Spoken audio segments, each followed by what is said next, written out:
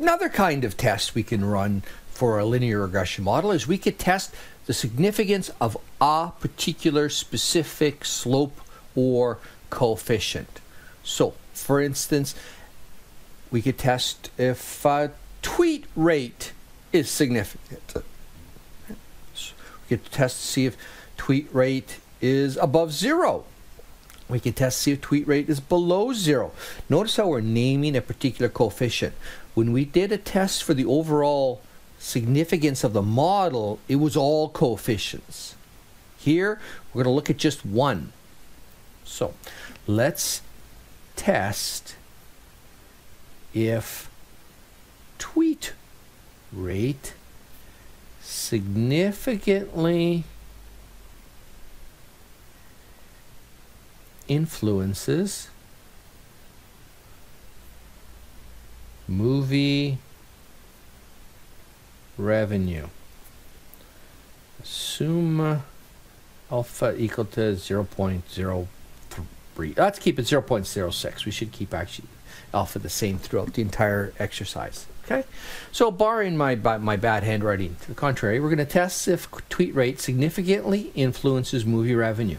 Notice a specific coefficient is named. When we were testing if the overall model was significant, we just said test if the overall model is significant, and there was no specific coefficient mentioned. Here, we are testing to see if the tweet rate, a specific x variable, uh, significantly influences movie revenue.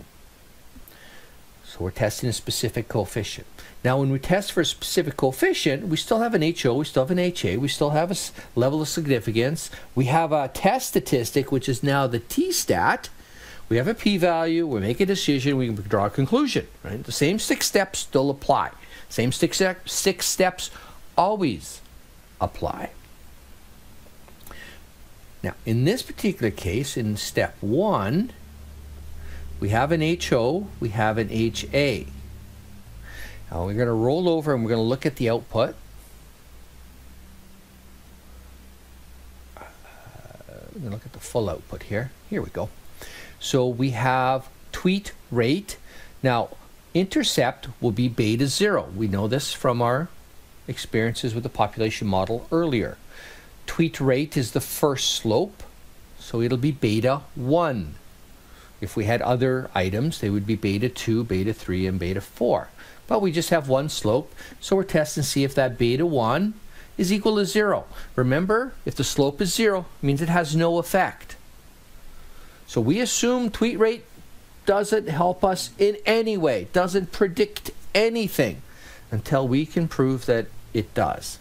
And so the opposite of beta 1 equals 0 is beta 1 doesn't equal to 0. Step 2, level of significance, which we give to be 0.06. Step 3, the test statistic. Now let's talk a little bit about that test statistic before we rush into uh, writing it down. so the test statistic, typically we are testing to see if beta 1 is equal to 0, which is what we're doing now. We could test to see if beta 1 is a specific value or greater than a specific value or less than a specific value. Uh, so we're not restricted to it to be zero, but most of the time it's just that is beta 1 equal to zero versus beta 1 not equal to zero. We're okay if it has a negative impact because then it tells us if that's something to be avoided. So the fact that it's negative is okay. The fact that it's positive is okay uh, right? It still belongs in our model. If it's equal to zero, then it doesn't really doesn't belong in our model. It's not influencing our dependent variable. So uh, the the convention and, and, the default that we see on the output is that uh, beta one is going to be assumed to be around zero, right? And uh, so this formula for the t-stat just breaks down into the coefficient value itself relative to its error. It's the error for the specific coefficient. So we compare the co-value of the coefficient, how much we would, and then the error, right, the standard deviation for that coefficient, uh, and to see if that's a big number, then that coefficient is probably different than zero. And if that number is not very big, the coefficient is likely not that much different than zero. So kind of got an intuitive appeal. If, if your estimate if your error is big relative to your estimate, it could be that the error is, you know, overwhelms the coefficient. The coefficient is really not significantly different than zero, and vice versa. So let's roll over to our output. Here's our output, and we see the tweet rate has a t-stat of 9.92. Now we know from our experience that t-statistics always have a degree of freedom. Now what's the degrees of freedom here? Well, the degrees of freedom in this case is the same as the error. Okay, same as degrees of freedom for residual in the F stat. Okay, which means it equals to n minus p minus 1. And in this case, when I look it up on the output, I see that it equals to 21. Okay, so you want to make sure you know where that 21 is coming from. Here's the formula. It's already represented in the F statistics, so if, that's why it's not doesn't have its own degrees of freedom uh, when we look at it on uh, around tweet rate, right? Everything around tweet rate, you have a coefficient, you have a standard error, they build up to the t-stat, and all of a sudden there's just missing degrees of freedom. That's because you know everybody who knows statistics know that it's been represented somewhere else. Why duplicate? Step four is the p-value, which we go along. And uh, for us here, it's conveniently, it's called the p-value is called the p-value. I go figure why. Uh, and we see that the p-value equals to 2.2 uh, uh, times 10 to the minus 9. Step 5 is like step 5 always is. That p-value, of course, very small, less than alpha. Therefore, we reject h naught. Right? Very small probability of committing a type 1 error by rejecting h naught in this case with a specific alpha of 0.06.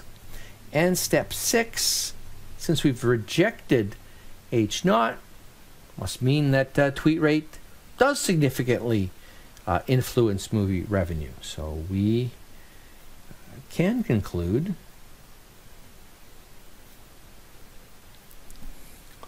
that tweet rate does, capitalizing does is not required, does significantly influence movie revenue. Okay, so now we can conclude that it does significantly influence movie revenue and and we're all set. This is all golden. There's there's your t-test, right? Very quick, very straightforward, nice little procedure. Not a lot of pain involved. Okay. A couple things just to keep in mind uh, for for the for the the t-stat is we did test to see if it's significantly different than zero. We could also test to see if it's greater than zero or alternatively less than zero. Um, by default, because of what we were discussing, uh, in most situations and in most cases, all we're concerned about is that it's different than zero, and we don't really care if it's bigger or less than zero, the slope, I mean. So that means that it's a two-tailed test, okay? Uh, we have a degrees of freedom and so on. Now, one-tailed tests are an option, right, if you want to see if the slope is of a certain size, positive slope or negative slope. Uh, and in that case, the p-value would be just a slightly bit different. Uh, you need to go back to the tables or use Excel, and then you would just find the probability that you get a specific value bigger or less than a particular number. Okay. So, for instance, um, looking up in, in, in, tables, now I've used the tables a little bit different than the ones that uh, are provided on Blackboard just because they had an extra row, uh, a little bit of more degree of uh, small probabilities they're not a major deal. Uh, they they read the same. They're they're they're basically still area to the right. And we have degrees of freedom 21 in this case, and we see that the biggest number along that row of, tw of 21 is 3.5271. So if if we were uh, do an HOHA beta 1, is it positive versus beta 1 that it's negative or 0, right? And then we'd have our, our step 2 of alpha 0.06. Our step 3, we would still have a t statistic that is the same. We'd still have a degrees of freedom that is the same. That part doesn't matter. Step 4 uh, just like we were doing before, it would be a transformation. So we'd find the probability that t greater than, because that's the symbol in uh, HA, greater than 9.92. Okay. Now, what is that equal to? Well, air, greater is area to the right, right? So we know that the area to the right, 9.92, is even further to the right, or is larger than 3.5271. So all we know is that this particular probability is going to be less than 0.001. That's all we know because the smallest probability is 0.001. As the t-stats get bigger, the area to the right shrinks, right? And we see that pattern as we look along that row of the degrees of freedom. Bigger t statistic, area to the right gets smaller. If we're looking at 9.92, we're getting to be way out there. And so it's even going to be even smaller than that 0.01 that's up here. We can always punch it in to, uh, into Excel, you know, using the t dot dist. Uh, stay away from the two-tailed part because it's not two-tailed, but uh, we can use uh, t dot dist uh, to find this exact probability. And we would see that it's very small, and if we would uh, uh, notice its relation to the p-value for the two-tailed test. It's essentially divide by 2. Uh, and uh, let's talk a little bit. We'll just wrap this up uh, with uh, a talk about some of the model assumptions. Uh, we, like we've discussed before, we assume that the mean of the error term is zero. That's and, and by the the way that the least squares regression is calculated, uh, assumption number one is is forced to be valid. Okay, so there's there's no there's no ambiguity as to whether uh, assumption one is followed. It is followed just by the nature of the way that least squared regression works. Uh, assumption one's good. Now the next three, no, uh, and so for the second one is we assume that the variance across all levels of alpha, all values of alpha, remains the same. We call that an assumption of constant variance. It's going to have a fancy name later on, uh, but we will we will learn how to test for this. It's a very nasty little problem. Uh, it can be a little bit tricky to solve or to, to fix, uh, but it's a very important problem to be aware of and very important problem to address if it exists. So we assume that variance is constant, but in many cases variance is not constant. If we think of things like income right? We think of how income is distributed. Well, the variability uh, in dollar amounts of income for people who make thirty thousand dollars a year is is far different than the variability in dollar amounts uh, of someone who makes three million dollars a year. Right? And, and so, income, house prices, those tend to be variables that are just by their nature are not don't have constant variance. And so we'll, there, there are tools that we can we can use to deal with them. A little bit beyond the, scope of the class, but we will we will talk about testing them, and then when we get to that section, we'll we'll throw out a couple of mechanisms that that that worry that we could address it, and then it's just a matter of uh, you know playing around with it a little bit. Uh, next thing is we assume that the values of the errors are independent from each other. So one error term is not related to another error term.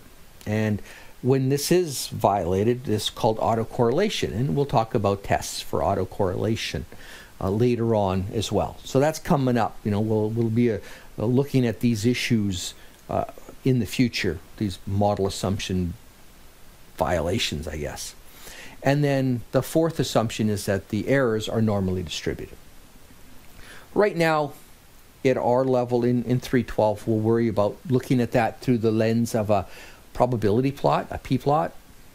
but easily there there are many. Uh, there's a Levene test for normality. There's lots of other tests for normality that also you could use to maybe make it more formal.